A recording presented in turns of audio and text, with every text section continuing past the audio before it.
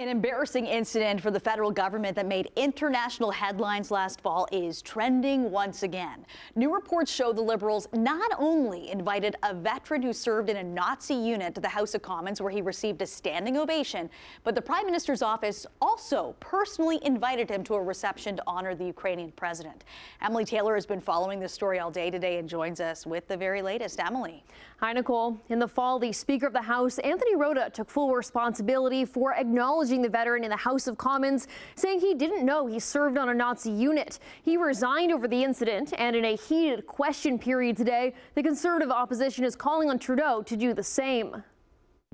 Justin Trudeau's office now says it invited Nazi veteran Yaroslav Hunka to a reception for Ukrainian President Volodymyr Zelensky in Toronto the same day Hunka was given a standing ovation in Parliament, all without knowing his Nazi connections.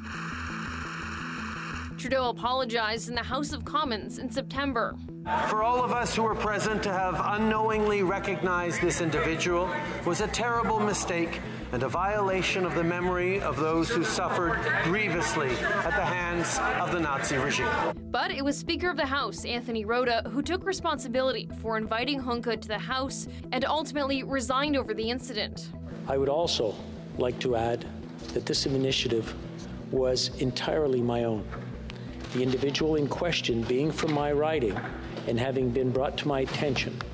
Both say they were unaware the 98 year old served in the Ukrainian unit at the SS Waffen during the Second World War, bringing up questions of what kind of vetting process the guest list underwent, if any, and sparking public outcry.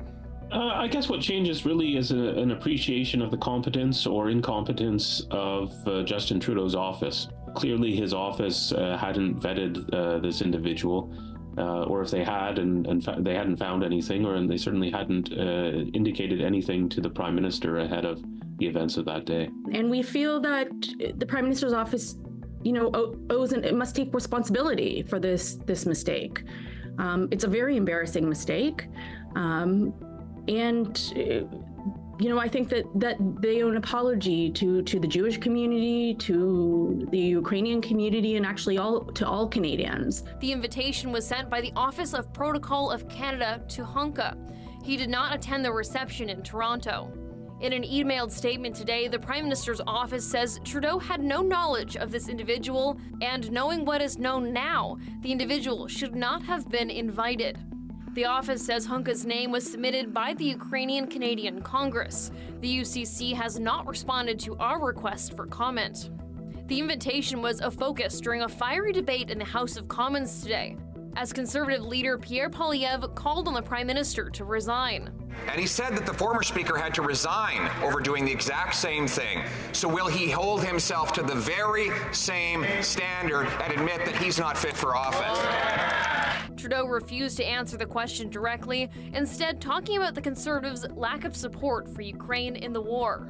The attacks that the leader of the opposition is choosing to make against the Ukrainian Canadian Congress demonstrates the extent to which this Conservative Party no longer stands with Ukraine.